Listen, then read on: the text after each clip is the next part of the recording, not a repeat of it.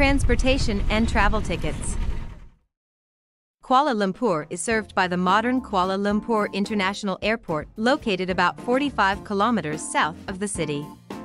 Kuala Lumpur Sultan Abdulaziz Shah Airport, Subang Airport, is closer to the city, but today it is only used for cargo flights, VIP flights, private flights, and some regional commercial flights. The main airport is divided into two main terminals. Terminal 1 mainly handles international flights and Terminal 2 handles the rest. They are connected by a free shuttle service according to this schedule. The fastest way to reach the city center is the KLIA Ekspres. Follow the signs and, if you haven't purchased it beforehand on the official website, buy the ticket for 55 Malaysian ringgit at the designated ticket counter. Head to Platform A and in less than half an hour you'll be at KL Sentral with infinite options to reach every area of Kuala Lumpur.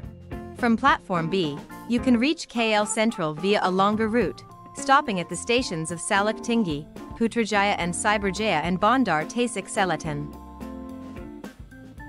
You might find your destination and save money by using one of the many buses departing from the two terminals. At Terminal 1, the bus stations are at Level 1, Block C, short-term car park, and at Level 1, Main Terminal Building. Through this website, you can easily search for available destinations with their respective prices.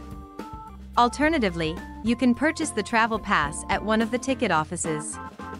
At Terminal 2, you can find it at Level 1, Gateway Shopping Mall.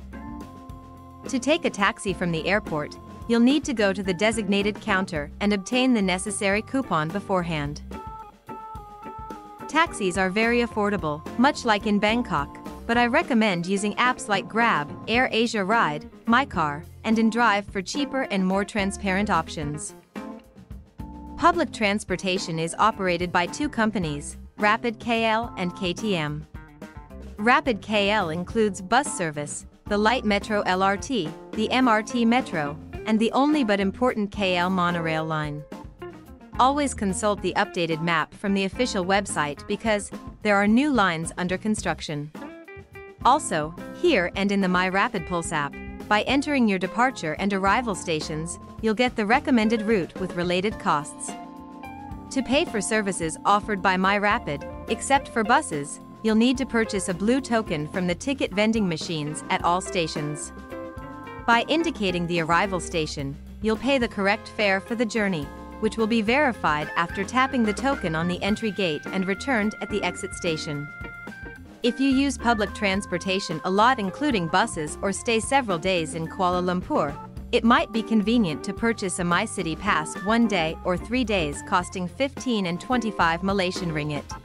The card is reloadable, so you can reuse it without having to repay the issuance fee each time.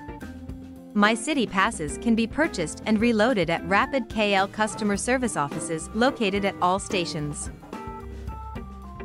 The company KTM operates the Blue Commuter Railway Lines number 1 and Red number 2 in Kuala Lumpur. The Brown Line number 10 has been suspended since 2023. You can purchase tickets at stations from the official website and app. Finally, you can tour the city and reach the most important attractions by using the tourist buses from the KL Hop On HOPOFF company. Ending notes